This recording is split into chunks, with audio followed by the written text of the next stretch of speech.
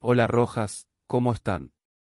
El técnico Ricardo Zielinski busca reforzar el lateral derecho del equipo y tiene como primera opción a Marcelo Wigand, pero si no lo fichan, el equipo puede buscar otro lateral en un club grande. Y para que siempre recibas noticias de nuestro rey de copas, suscríbete a nuestro canal. Ricardo Zielinski puso un nuevo nombre sobre la mesa de la dirigencia de Independiente para reforzar la banda derecha defensiva, el cual se suma Marcelo Wigand.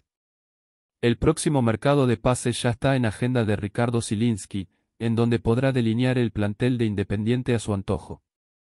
Uno de los puestos a cubrir de manera urgente es el de lateral derecho, a priori, la primera opción es Marcelo Wigand. La dirigencia de Independiente ya realizó varios intentos por el Chelo Wigand, sin lugar en boca, pero no lograron satisfacer las pretensiones de los de la Ribera. Motivo por el cual comienzan a buscar otras alternativas viables económicamente de gestionar.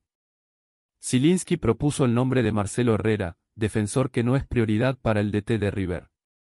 Aunque su presente no es bueno, se trata de un perfil de futbolista con suma experiencia en clubes grandes ya que surgió futbolísticamente en San Lorenzo.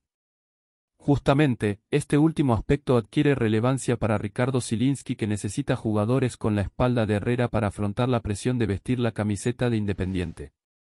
Una nueva opción que se suma al interés por Marcelo Wigand. ¿Qué opina de las posibles opciones de refuerzo del lateral derecho defensivo de Independiente?